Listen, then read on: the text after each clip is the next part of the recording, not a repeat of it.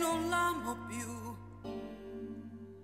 Gli confesso che al suo posto ora ci sei tu. Ho lottato contro l'attrazione strana delle tue mani.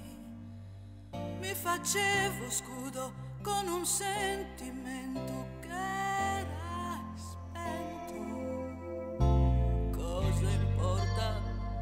Còn